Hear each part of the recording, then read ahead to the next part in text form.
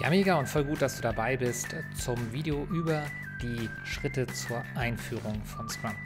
Du möchtest Scrum ausprobieren, du möchtest es einführen, dann solltest du unbedingt die folgenden Schritte im Kopf haben und vor allen Dingen mit diesen reflektieren und sie als Leitplanken bei dir verwenden. Es ist oft nicht leicht, sich auf die wirklich wichtigen Schritte zu fokussieren. Und deswegen findest du hier die wichtigsten Schritte, die du durchlaufen und vor allen Dingen reflektieren solltest und das in deinem Umfeld. Denke dran, Scrum ist ein Framework, keine Methode oder kein Prozess und kann deshalb nicht einfach so gemacht werden. Du musst Scrum anwenden, auch vielleicht mal unperfekt und reflektieren, um es meistern zu können und damit zu lernen. Schritt Nummer 1. Erwerbe erstmal das notwendige Wissen, was Scrum überhaupt ist. Schaue dir das agile Manifest an, verstehe den Scrum Guide, hab mal ein Training gemacht und vor allen Dingen beginne mit der Reflexion, mit dem Erfahren von Empirie über Praxis und Realität. Verstehe auch dein Warum. Warum willst du eigentlich Scrum machen? Warum glaubst du überhaupt, es könnte dir helfen? Und warum nutzt du nicht schlichtweg was anderes? Du solltest auf die Fragen gute Antworten haben und auch mit Scrum führen wollen. Das bedeutet, Verantwortung zu übernehmen und vor allen Dingen auch mit gutem Beispiel voranzugehen. Schritt Nummer zwei: Schule bitte immer dein Team.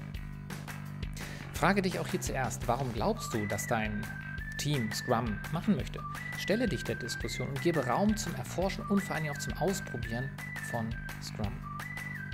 Du solltest hier dein Team nicht überzeugen, sondern ihm einfach Perspektiven schenken, dass sie ihr Warum selbst erkennen und intrinsisch hinter der Entscheidung für Scrum stehen.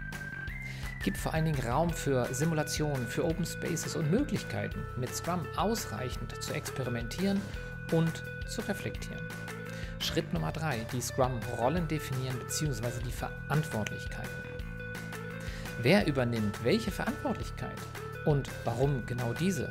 Stellt vor allen Dingen sicher, dass in jeder Rolle Kompetenz steckt und jede Verantwortlichkeit auch richtig belegt ist. Schritt Nummer 4. Das Product Backlog erstellen. Welche Anforderungen und Wünsche gibt es überhaupt ähm, zu erfüllen? Zu Beginn steht genau dieses Füllen des Product Backlogs. Der Product Owner ist hier im Lead. Schritt Nummer 5. Sprints planen. Halte als Product Owner Product Backlog Items mit dem klaren Was bereit.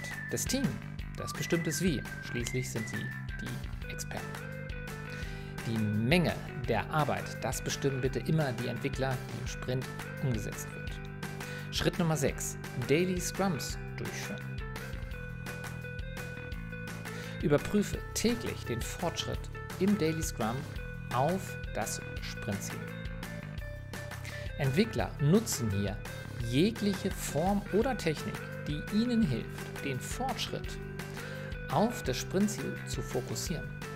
Sie können dafür auch die folgenden Fragen nutzen, die jetzt nicht mehr Pflicht im Scrum Guide sind. Was habe ich gestern für das Sprintziel getan? Was werde ich heute für das Sprintziel tun? Was behindert mich uns auf dem Weg zum Sprintziel? Wenn du Führung brauchst, nutze diese Fragen. Schritt Nummer 7. Die Sprint-Reviews durchführen.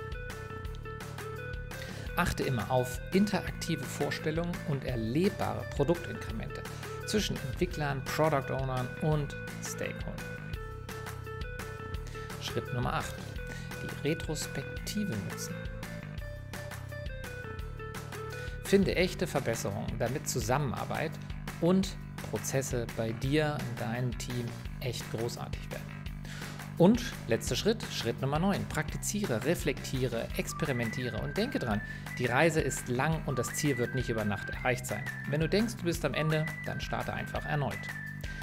Das war's hier. Vielen Dank für dein Interesse und bis zum nächsten Video. Dein Sebastian.